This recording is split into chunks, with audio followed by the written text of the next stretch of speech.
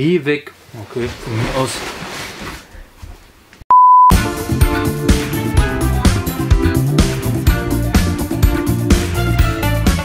Ejo Leute, willkommen zu meinem neuen Video. Und heute gibt es mal einen zweiten Teil von lustige Schilder. Wir hatten ja schon mal einen Teil mit lustigen Schildern ich fand das sehr, sehr lustig. Und auch heute habe ich wieder ein paar lustige Schilder mitgebracht, die uns zusammen anschauen und sehen mal, wie lustig die diesmal sind. Und wenn du keine weiteren Videos mehr von mir verpassen möchtest, dann abonniere doch gerne diesen Kanal und aktiviere die Glocke. Aber jetzt geht's los mit den Schildern. Beginnen wir mit Schild Nummer 1 und das ist dieses hier. Da steht drauf, es ist verboten, auf dem Hof sich aufzuhalten, zu schwätzen, sich zu ergeben und zwischen den Mülltonnen zu f***. Als letztes habe ich natürlich zensiert. Jetzt ist die Frage, was ist auf diesem Hof überhaupt gestattet? Man darf sich nicht aufhalten, man darf nicht reden, man darf sich nicht übergeben. Erstmal übergeben. Auch wenn das irgendwie komisch ist. Naja gut, das letzte. Aber was darf man auf diesem Hof überhaupt? Das nächste, hier gibt es eine Touristen-Blutwurst zu kaufen. What? Ja, ich weiß, natürlich. Denkt nicht jeder gleich an Blutwurst aus Touristen, sondern eher Blutwurst für Touristen, was hier ja gemeint ist. Aber es klingt halt doch so ein bisschen, als wäre es jetzt Blutwurst aus Touristen gemacht.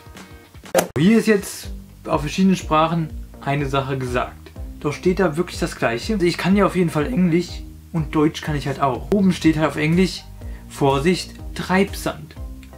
Und unten in Deutsch steht, herzlich willkommen. What? Das ist aber sehr, sehr nett von denen. Viele fahren mit der Bahn und ja, nicht jeder mag die Bahn so gerne, was auch irgendwie verständlich ist. Und auch da bei der Bahn hat sich immer gedacht, ich habe die Schnauze voll.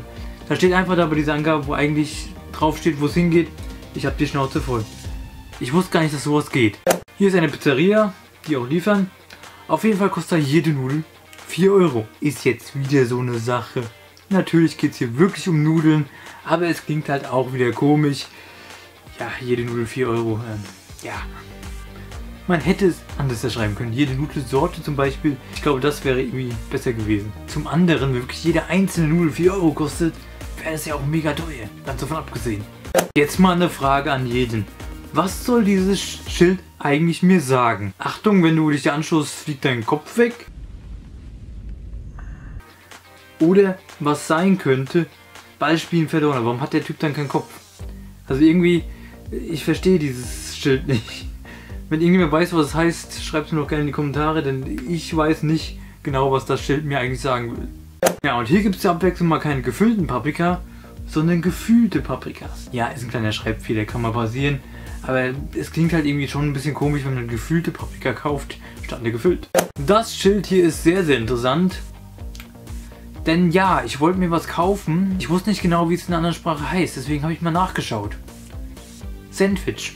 Es macht halt keinen Sinn, eine Übersetzung zu schreiben, wenn es in jeder Sprache, die da übersetzt wird, gleich heißt. Macht halt echt keinen Sinn. Hier ist jetzt ein Schild, das uns sagt, Singen und Pfeifen im Wald ist verboten. Okay, es ist nur Vögeln gestattet. Finde ich schon ein bisschen ungerecht, oder? Geh weg. Okay, von mir aus. Jetzt mal ernsthaft. Habt ihr so ein Schild schon mal gesehen? Geh weg.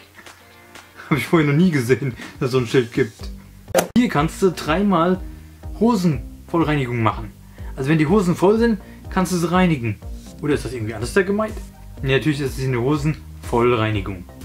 Also, die Hosen werden voll gereinigt. Egal wie ich sage, es klingt komisch, oder? Die Hosen werden einfach sauber gemacht, egal was passiert ist. Kinderpunsch für 1,20, auch mit Schuss möglich. Zum einen klingt es komisch, zum anderen, ja, dann ist es kein Kinderpunsch mehr.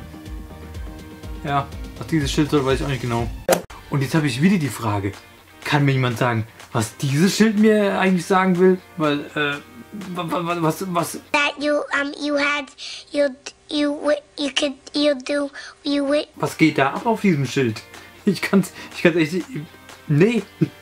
Was geht auf diesem Schild ab? Das ist hart. Die nennen sich Kock und Sack. Bis dahin ist es schon schlimm. Und dann noch Eisenwaren. Ja. Unglückliche Namen würde ich sagen. Man muss sich ja nicht nach seinem Nachnamen benennen, wenn man irgendeine Firma aufmacht.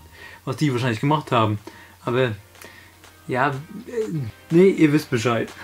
Was machen die eigentlich?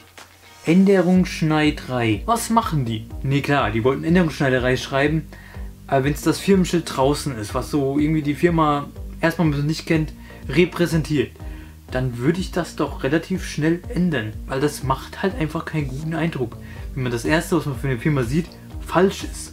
Auch hier bin ich mir wieder unsicher, was das Schild bedeuten soll. Heißt das, äh, keine Leute mit Harpunen äh, stechen? Mache ich ja normalerweise auch immer. Und da darf ich es halt nicht. Was soll dieses Schild schon wieder heißen? Das ist, also hier sind Schilder dabei, die können die aufstellen. Ich weiß trotzdem nicht, was ich darf oder nicht darf.